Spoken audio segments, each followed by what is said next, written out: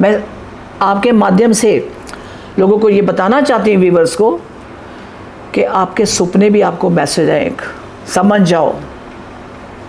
एक सपना अगर बार बार आ रहा है और आपको समझ नहीं आ रही, उसको समझिए आप। वो मैसेज आपके लिए। मैम डिकोडिंग बहुत मुश्किल है। सपनों की डिकोडिंग तो सच में समझ ही नहीं आती कई बार। और मैं आपको सच बताऊँ जैसे हम कुछ सपने देखते हैं तो मैं कई बार ना टीवी चैनल ऐसे ब्राउज कर रहे होते हैं तो उसमें अचानक आता है अगर आप इस तरह का सपना बार बार देखते हैं उसका मतलब ये होने वाला है। अब ये चीज़ें मन में और भय पैदा कर देती हैं क्योंकि चार लोग चार तरह की बातें बताते हैं। समझ तो हमें आता ही नहीं है कि हम किसको सच माने किसको गलत माने। नहीं आपकी बात बहुत ठीक कही आपने किसके माने नहीं है। हम्म। अगर मैं मैं में सफ़र की बात करूँगी हम्म। यात्रा जो हम निकले हुए हैं। हाँ। जो ये सपना निकले वो निकले नहीं। आपको सपना आता वो आपके आपका आकाशिक रिकॉर्ड है वो। आकाशिक रिकॉर्ड। हाँ आकाशिक रिकॉर्ड का मतलब जानते क्या है? यहाँ लोगों ने नाम दे दिया आकाशिक रिकॉर्ड। ऐसा नहीं है। वो रिकॉर्ड सिर्फ़ आप देख सकते हो और कोई नहीं। हाँ। वो भी आप ट्रांस में जाके।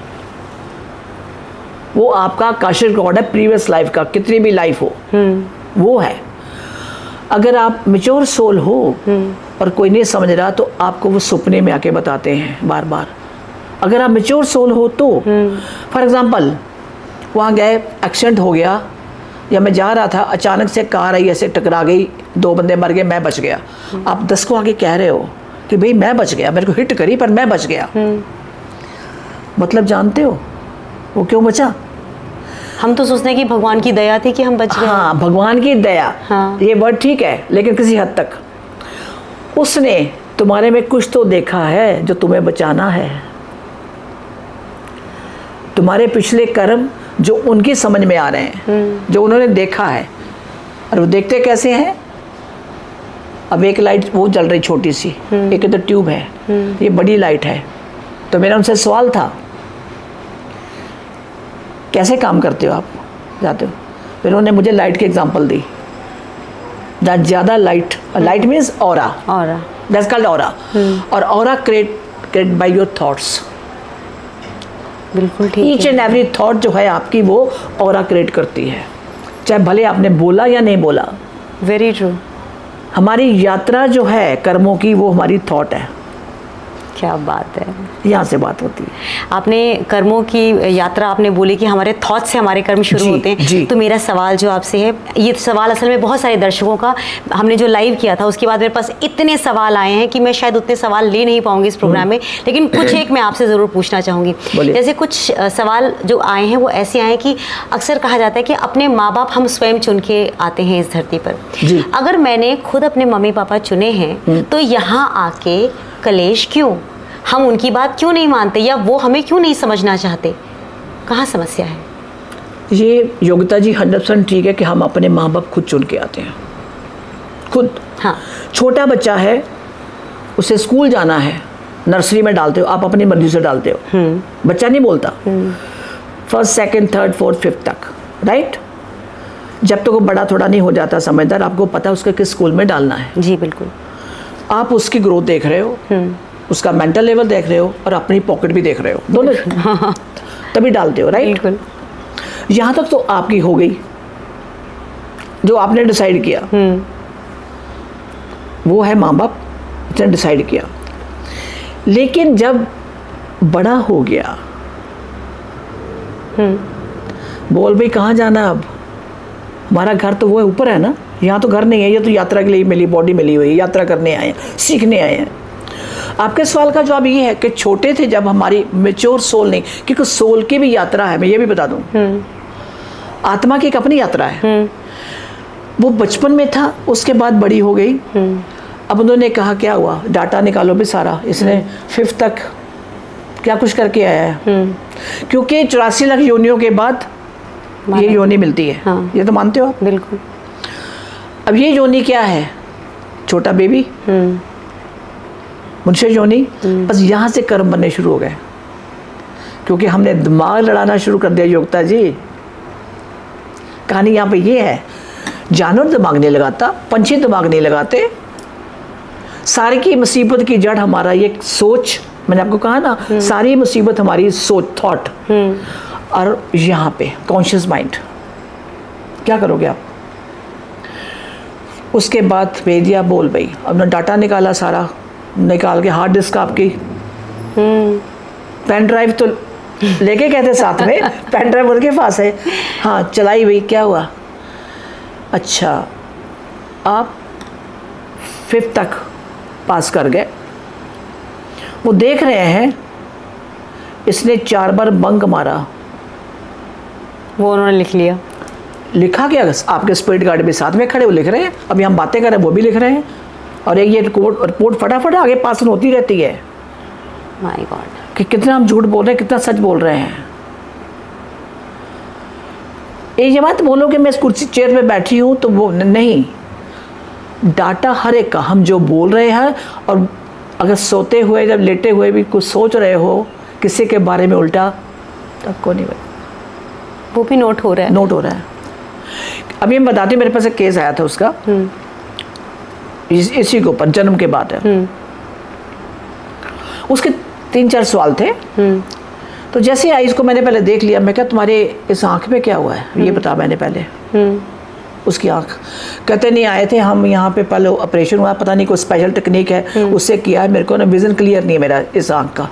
अच्छा। तो पहले हमने मदानता भी बहुत इलाज कराया। हमें को फ़र्क नहीं पड़ा। हम्म। अभी यहाँ एक दिल्ली में है। हम्म। हम उससे करवा रहे हैं। हम्म। तो आज मेरे पास सेशन लिया कल दिन।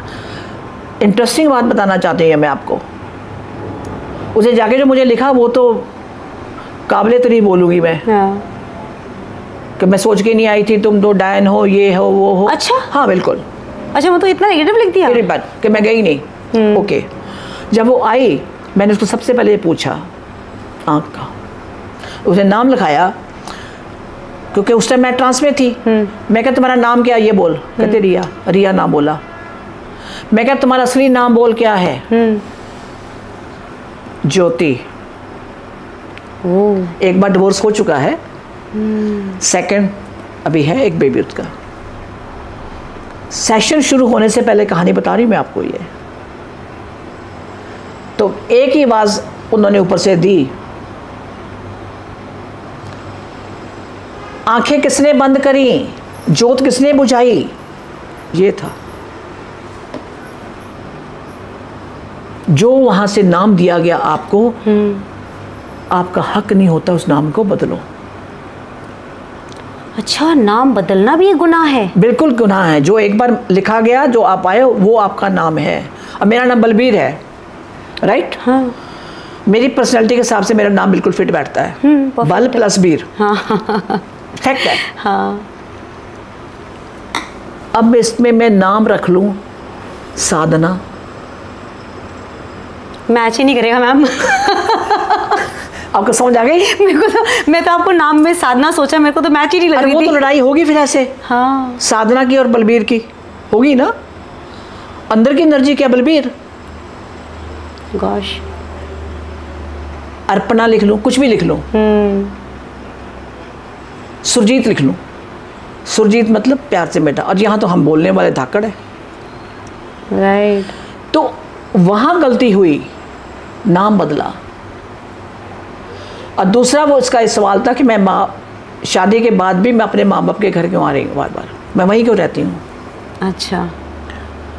उस अब देखो इसके आपके सवाल का जवाब यहाँ है क्योंकि वन लाइफ दिखाया समुद्र किनारे खड़ी है घर है नहीं। मैं चलो घर घर है ही नहीं है। हम्म। माँ बाप कहाँ पता नहीं। हम्म। ये वही लड़की है जिसका सब कुछ, सुनामी आई या जो भी आया होगा, घर उजड़ गया, कुछ है ही नहीं है। झोपड़ियाँ में आग लग गई, सब खत्म हो गया। इसलिए वो ओथ लेके आई कि मुझे इस घर में जाना है और पिछला कार्मिक लिए अकाउंट मैंने, मैं कि माँ बाप के घर में रहना, क्योंकि उसके अंदर एक कमी है कि माँ, घर नहीं है मेरा माँ बाप का घर नहीं है।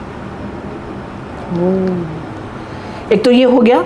नंबर दो, ये बड़ा लंबा सब्जेक्ट है। आपने योगता जी अपने मकान बनाना है। हम्म। अपने लोन ले लिया। हस्बैंड हम्म। भी जॉब पे है। तो क्या हुआ? लोन लिया? लोन ले लिया। हम्म। एक करोड़ दो करोड़ जितना भी आपकी आपको लेना था ले लिया। और उसके बाद क्या हुआ? आप खुदा न खाता बहुत सलामत रहें।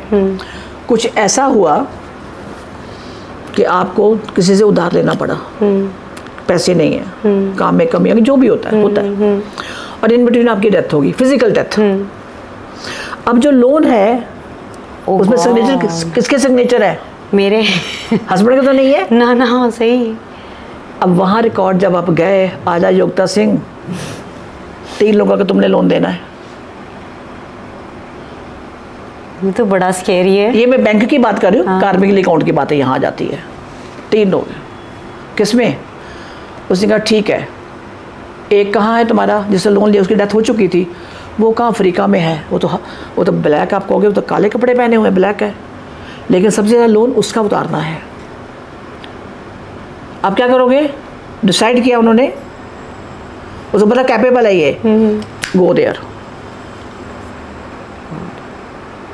क्योंकि मैक्सिमम लोन आपने कहा नहीं पहले उसका उतारूं लोन तो आपने क्या किया अफ्रीका में उनकी जो पोस्ट खाली है यहाँ पे? मैं इसकी वाइफ बन के जाऊँगी इस घर के अंदर। उसका कि बेटा हुआ देख वो छोटा बच्चा है अभी। आप भी देख रहे हो। कहते चल कौन कौन है? और कुदरत बहुत सियानी है। हमारे माँ बाप बहुत सियाने हैं। आप कैपेबल हो ये उतार लेगी जाओ भाई। आपने क्या किया? वहाँ आके आपने जो भी जेंडर चुना मेल फीमेल अब काम करना पड़ गया। क्योंकि लोन उतारना है। और वहाँ से आपके चार पिट पीटने वाले भी आ गए। दिस योर टेस्ट क्योंकि वो जो पीछे आपके आए वो उनकी कहानी है। हम माँ बाप चुन के आते हैं ना तो उसमें एक वो भी था जिसको आप नहीं दे पाए। कहते मैं जाऊँगा अब कहाँ पे वो? मैं इसका बेटा बन के जाऊँगा। अब योगता सिंह की तो हालत क्या हो गई?